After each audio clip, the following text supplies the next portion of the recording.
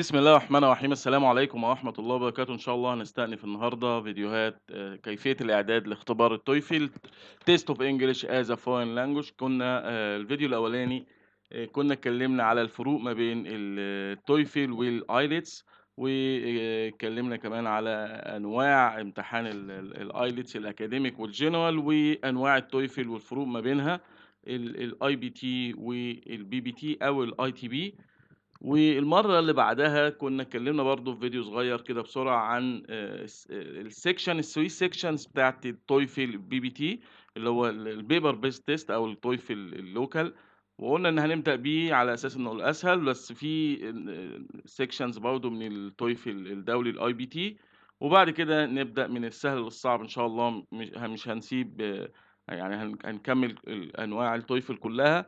وقلنا إن هو برضو بيتقال عليه ال iBT هو هو ال ITP المرة دي إن شاء الله طبعا المرة اللي فاتت كنا اتكلمنا على السكاشن بقى ال three sections بتاعت الامتحان ال listening وال structure وال reading النهارده إن شاء الله هنبدأ بقى آه، آه، في ال listening اللي هو ال section الأولاني من امتحان التويفل ال PBT ال paper based test آه، قلنا طبعا المرة اللي فاتت لو حضراتكم سمعتوا الفيديو اللي فات قلنا إن هو آه، بيتكون من 50 سؤال المفروض يتحلوا في 35 دقيقة. ال listening طبعا فاكرين الشخص اللي هو آه، مركز قوي في ال listening ومكبر ودانه عشان يسمع كل كلمة. آه، الراجل ده آه، عنده حق ليه؟ لأن هو هيقول لك آه، في ال audio إن أنت لازم تركز في كل كلمة لأن ما not repeated يعني هي ال- الكلام مش بيتكرر. لا تقدر ترجع ال- الشريط عشان تعرف هم كانوا بيقولوا إيه ولا ولا ولا السؤال حتى لازم تبقى مركز و آه، فاهم ال conversation الصغيرة اللي بتتقال قدامك أو ال statement اللي بتتقال قدامك والسؤال اللي هيتقال لك عشان تقدر تستنتج الإجابة. طبعا مش مطلوب منك إن أنت تبقى آه، فاهم كل كلمة بتتقال لكن إنما تقدر تفهم الحوار كله in general conversation in general بتتكلم على إيه تقدر تتسأل لما تتسأل تقدر تجاوب تختار تختار من متعدد آه، في سياسات وفي strategies كتيرة هنتكلم فيها إن شاء الله بس إحنا لسه في الأول. آه، محتاجين إن أنت تاخد ال shock اللي هو الصدمة كده في ناس بتبقى خايفة من الموضوع تلاقي آه، ارمي نفسك في البحر وأنت هتعوم إن شاء الله. آه، هنبدأ دلوقتي إن شاء الله نسمع conversation.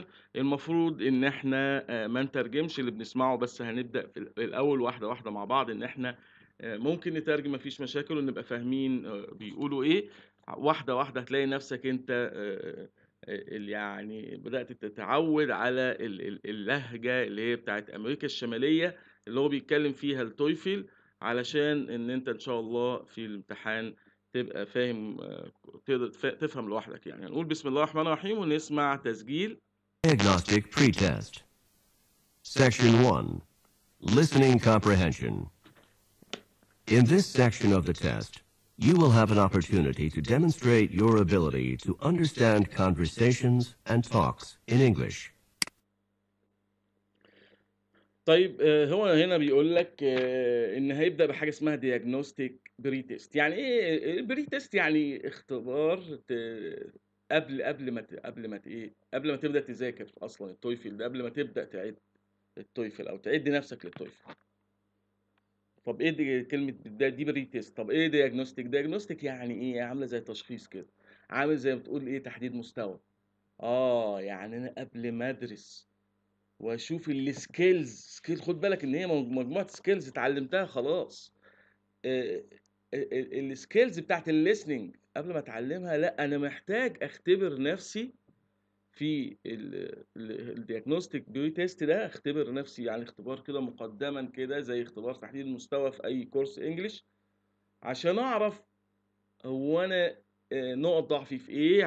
آه أبدأ أشتغل عليها محتاج إيه محتاج أذاكر في إيه طيب هو بيقول لك أنت تبدا ال listening وإن أنت هتسمع ال- ال- ال- المفروض إن إن إن الجزء ده بي demonstrate your ability to understand يعني بيقيس قدرتك في الفهم هن- هنمشي شوية نحاول نسمع نفهم على قد ما نقدر واللي آه، مش هنفهمه هنترجمه واحدة واحدة There are three parts to this section, with special directions for each part.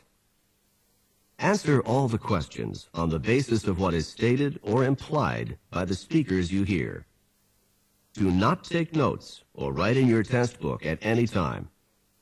Do not turn the pages until you are told to do so. Part A. طيب هو هنا بيقول لك إن أنت امتحان ال listening فيه 3 parts وفي direction لكل part بيقول لك أنت ما ينفعش إن أنت تاخ- تاخد notes أو تكتب على ورقة الإجابة لأن الورقة دي هياخدوها في الامتحان آه، طبعا إحنا بنتكلم على ال paper based test ولا بتاعت الأسئلة كمان تعال نشوف part 1 بيقول إيه Directions. In Part A, you will hear short conversations between two people. After each conversation, you will hear a question about the conversation. The conversations and questions will not be repeated. After you hear a question, read the four possible answers in your test book and choose the best answer. Then, on your answer sheet, find the number of the question and fill in the space that corresponds to the letter of the answer you have chosen. Listen to an example. On the recording, you will hear, That exam was just awful. Oh, it could have been worse. What does the woman mean? زي ما شفنا كده هو بيقول لك ان انت you will hear a short short conversation between two people يعني انت تسمع حوار بسيط خالص ما بين اتن- آه، شخصين. وبعد كل حوار after each conversation هتسمع سؤال تجاوب على السؤال ده. تمام؟ طيب هنا بيقول لك آه، ال- الراجل قال إيه؟ مان قال لك إن ال- الاكزام ده آه، was just awful الامتحان ده كان آه، آه متضايق من الامتحان وبتاع. طيب الومن هنا بتقول لك إيه؟ oh it could have been worse. يعني قد يعني كان ممكن يبقى أصعب من كده.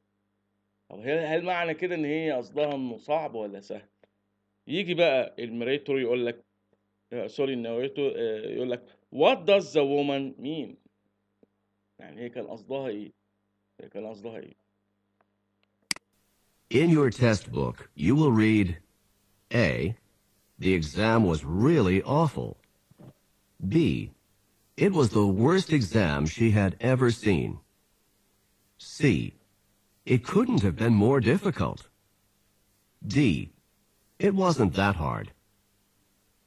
You learn from the conversation that the man thought the exam was very difficult and that the woman disagreed with the man. The best answer to the question, what does the woman mean, is D. It wasn't that hard. Therefore, the correct choice is D. هو بيقول لك دلوقتي إن هي هو بيقول إن الامتحان صعب.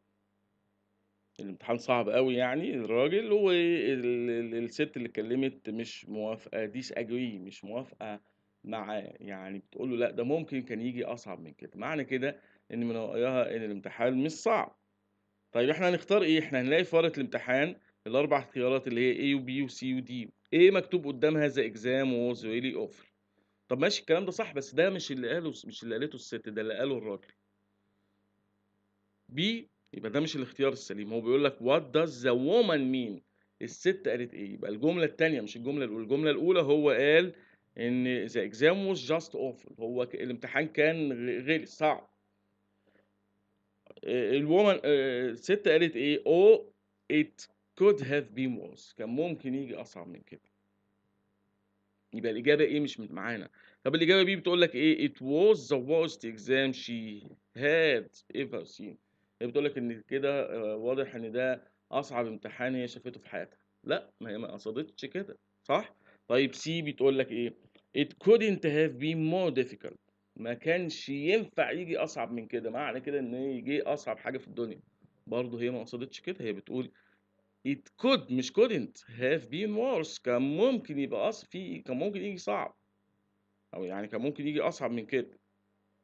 الإجابة دي بقى هي اللي صح بقى هي اللي بتقول إيه؟ It wasn't that hard. هو ما كانش بالصعوبة ديت.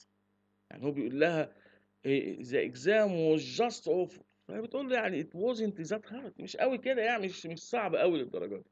طيب ده ده مثال للشرح بتاع ال الdiagnostic pre-test هو نظام الpreparation course إن هو كل امتحان يعني إيه، كل section هيدّيك امتحان كده pre-test تخ تختبر فيه قدراتك، وبعد كده آآ بيرجع يدّيك الskills بقى بتاعة الكتاب إن شاء الله نمشي معاها واحدة، واحدة، و آآ في الآخر بتاخد بقى آآ يعني امتحانات زي اللي بتيجي في ال طبعًا في exercises كتير، بس في الآخر تلاقي امتحانات بقى زي اللي بتيجي في الTOEFL إن شاء الله. آآ نكتفي بكده النهارده، يعني دي يعتبر كده بدأنا في آآ الlistening ونكمّل المرّة الجاية، شكرًا والسلام عليكم ورحمة الله وبركاته.